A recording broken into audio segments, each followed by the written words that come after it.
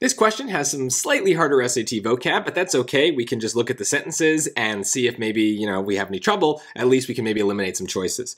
Some researchers believe that the genes that enable groundhogs and certain other mammals to hibernate through the winter by slowing their breathing and heart rates and lowering their body temperatures may be blank in humans, present yet having essentially no effect on our bodily processes. I mean, look, this is a good example of just know how they're setting you up. Like, they're literally just defining the word. We need something that's present but has no effect. So if we want to simplify this even further, um, present yet no effect. So is there any idea that matches with that? Well, decisive means you are, you know, making a decision. You are very clear cut about what you're deciding. I mean, the word decide is basically in the word.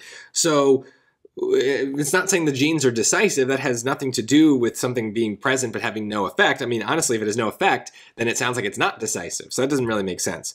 Um, lacking is definitely tempting. I think many of you might pick this because you are kind of maybe just jumping to the first thing that makes some sense, but it's not what they're saying here, right? If it's lacking, then it's just not there. But the sentence is specifically telling us that the genes are present. They have no effect, but they're not lacking. They're not kind of uh, just missing. So this is not what they're saying. I do think it's a trap though. I think a lot of people are going to get this wrong by just jumping to that first conclusion without really thinking about what they're saying.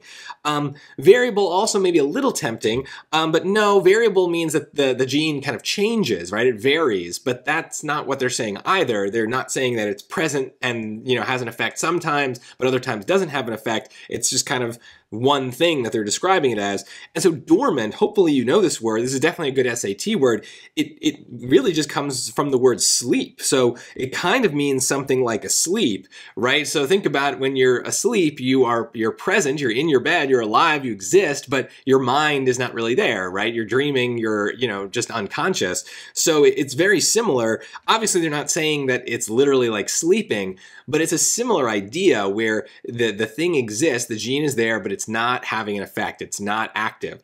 And so it's definitely a good word to know. It has this more kind of general meaning. It doesn't necessarily have to do with sleep, but I do think it's interesting that they're talking about hibernation in this sentence because that's another area where I associate this word dormant, right? Like the a bear during the wintertime goes into its burrow and it hibernates it's it's dormant. It's it's there. It's it's existing. It's still a bear, but it's not coming out and like going around the world, you know, eating things. It's it's just asleep for a couple months. So um, just a coincidence that that's the way that they're using the word because they're not using it to talk about hibernation in the in the in the blank but it's just a weird coincidence that it kind of has both those meanings and both of them happen to show up in the sentence